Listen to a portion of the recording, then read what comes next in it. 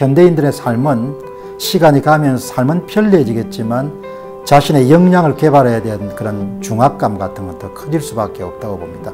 그 한정된 자원을 우리가 추구하는 목표를 달성하기 위해서 어떻게 하면 가장 잘 효율적으로 효과적으로 사용할 것인가라는 부분들은 모든 사람들에게 필요한 주제죠.